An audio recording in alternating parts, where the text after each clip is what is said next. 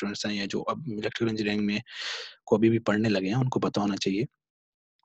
तो केसीएल में हमारे पास स्टेटमेंट क्या है कि sum of current entering the node is equal zero algebraic sum of current entering the node is equal zero तो इसको हम इस इस उससे इक्वेशन से शो कर सकते हैं।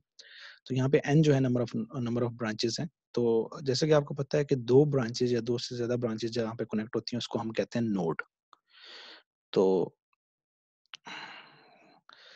तो sum of current entering the node is equal to zero तो आपको पता होना चाहिए इससे पहले कि ब्रांचेस और नोड क्या चीज़ है? ब्रांचेस भी हम पढ़ चुके हैं नोड भी हम पढ़ चुके हैं, जिसका लिंक आपको डिस्क्रिप्शन में मिलेगा, वहाँ से आप वो वीडियो देख सकते हैं। यहाँ पे एन नंबर ऑफ़ ब्रांचेस है। फॉर एग्ज़ाम्पल ऐसी बात है, अगर दो या दो से ज़्यादा ब्रांचेस कनेक्टेड है, अगर तीन ब्रांचेस कनेक्टेड है तो हमारे पास तीन करंट्स होंगे, उन सबको हम ऐड करेंगे तो हमारा आंसर ज़ीरो आएगा। तो यहाँ पे आई एन जो डिनोट कर रहा है, वो हर एक ब्रांच का करंट को नोट कर रहा है। तो फॉर एग्ज़ाम्पल हमारे पास तीन ब्रांचेस हैं तो तीन करंट्स होंगे। तो आई थ्री होगा। तो जो करंट हमारा ब्रांच में इंटर कर रहा है, उसको हम पॉजिटिव लेते हैं, जो लीव कर रहा है, उसको हम नेगेटिव लेते हैं। तो सबको आपस में ऐड करते हैं तो हमारे पास आंसर ज़ीरो आता है।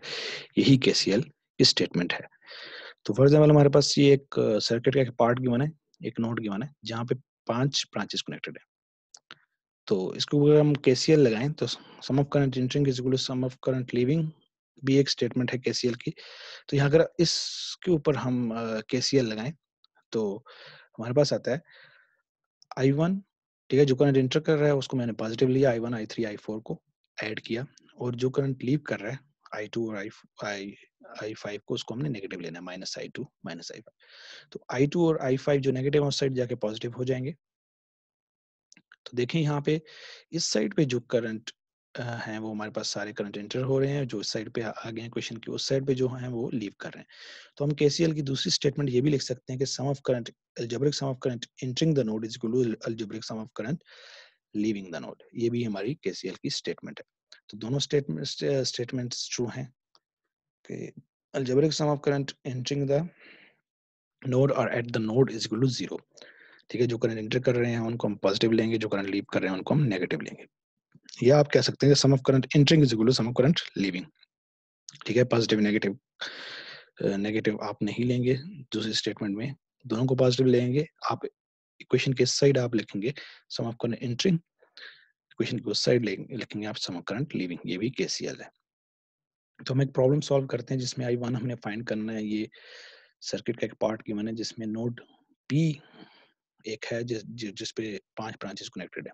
तो हमने आई वन फ़र्स्ट ब्रांच में से करंट फाइंड करना है। One two three four four branches का करंट गिवन है। तो यहाँ पे हम केसीएल अप्लाई करेंगे। Sum of current entering is sum of current leaving तो जो करंट एंटर कर रहे हैं, वो इक्वेशन किस साइड में लिखूँगा? यहाँ पे तीन करंट एंटर कर रहे हैं। I one I two I three ठीक है, वो इक्वेशन किस साइड आएँगे? आई फोर और आई फाइव लीव कर रहे हैं। वो इक्वेशन के हम उस साइड लिखेंगे। तो यहाँ पे वैल्यूज़ पुट करते हैं। आई टू और I three I four I five की वैल्यूज़ पुट करते हैं। तो यहाँ पे आई टू और आई थ्री की value ten plus five fifteen आ जाएगी। हमारे पास आई फोर और आई फाइव की वैल्यू आपस में ऐड होकर सेवनटीन हो जाएगी। तो फिफ्टीन इस साइड आके नेगेटिव हो जाएगा माइनस हो जाएगा सेवनटीन माइनस फिफ्टीन ये हमारे पास आई वन टू एम्पियर आ जाएगा। एक और प्रॉब्लम सॉल्व करते हैं, जो सर्किट की फॉर्म में।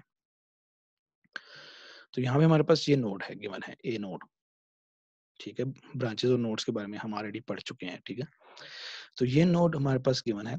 तो इस नोड इस नोड पे हम देखेंगे कि sum of current entering is sum of current leaving apply करके हम आईओ और वीओ जो अननोन वैल्यूज़ उनको फाइंड करेंगे।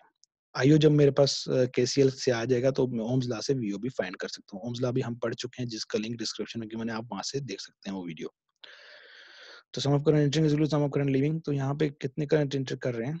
दो करंट 0.5 आईओ और 3 एम्पियर तो ये सोर्सेज के बारे में आपको बताता चलूँ। ये ये जो है रजिस्टर है ठीक है, इसके बारे में हम पढ़ चुके हैं। सोर्सेज के बारे में हमने डिटेल में नहीं पढ़ा तो सोर्सेज जो हैं वो, ये दोनों करंट सोर्सेज हैं, जो एरो की फॉर्म में सर्किट के अंदर हम शो करते हैं, उनको हम करंट सोर्सेज कहते हैं, और जो पोलैरिटीज के फॉर्म में उनको हम वोल्टेज सोर्सेज लेकिन यहाँ पे दोनों करंट सोर्स हैं। तो दोनों करंट सोर्स की शेप डिफरेंट है। एक एक की शेप डायमंड की तरह है, जिसको हम डिपेंडेंट सोर्सेज कहते हैं। कि डिपेंडेंट करंट सोर्स है, ये क्योंकि ये आईओ इस करंट के ऊपर डिपेंड कर रहा है। जबकि हमारे पास ये सर्कल की फॉर्म में इनकी फिक्स वैल्यू होती है, ये इंडिपेंडेंट सोर्सेज हैं। ठीक है सर्कल की फॉर्म में इंडिपेंडेंट और D for dependent D for diamond diamond की शाप में फॉर्म में जो सोर्सेज गिवन होंगे, उनको हम डिपेंडेंट सोर्सेज कहते हैं। वो सर्किट के अंदर ही किसी वैल्यू पे डिपेंड करते हैं। तो यहाँ पे हम अप्लाई करते हैं sum of current entering is equal to sum of current leaving at node A तो हमारे पास आईओ की वैल्यू आएगी। तो करंट नोड ए पे कितने एंटर कर रहे हैं? देखें 0.5 आईओ की वैल्यू गिवन है, जो नोड की तरफ़ है डायरेक्शन उसकी गिवन है 0.5 आईओ और 3 एम्पियर की डायरेक्शन भी गिवन है जो नोड की तरफ़ है तो दोनों, ये दोनों करंट्स नोड के अंदर एंटर हो रहे हैं, वो इक्वेशन की इस साइड लिखूँगा मैं? और जो करंट लीव कर रहा है आईओ वो हम इस साइड लिखेंगे। तो यहाँ पे आईओ फाइंड करना है 0.5 आईओ ठीक है, मैं आईओ को उस साइड लेके लेके जाएँगे थ्री को इस साइड लेके आएँगे। ठीक है तो आपके पास zero point minus zero point five five minus three बच जाएगा। क्योंकि zero point five five minus one I हमारे पास आता है minus zero point five five तो माइनस माइनस के साथ कैंसिल हो जाएगा, दोनों दोनों साइड भी हमारे पास पॉजिटिव रह जाएगा। तो I O three I O is equal to three divided by zero point five zero point five से मल्टीप्लाई हो रहा है, हमने आई ओ फाइंड करना है तो ज़ीरो पॉइंट फाइव को साइड लेके जाएँगे तो three divided by zero point five आएगा। जिसका हमारे पास आंसर जो आएगा वो सिक्स एम्पियर तो अब हम ओम्स ला लगा के इसके थ्रू वोल्टेज फाइंड कर सकते हैं वी ओ तो वी इज़ आई आर होता है ओम्स ला हमारे पास। ठीक है? तो यहाँ पे आई क्या है? आई ओ है और आर क्या है? रेजिस्टेंस फोर ओम है। तो आई की जगह ओम्स ला में वी इज़ आई आर होता है तो इस रजिस्टर के क्रॉस हमने वोल्टेज फाइंड करनी है तो इस रजिस्टर में से करंट जो फ्लो है वो इधर लिखेंगे और इस रजिस्टर की रेजिस्टेंस की वैल्यू है आर की वैल्यू है, वो हम यहाँ पे लिखेंगे।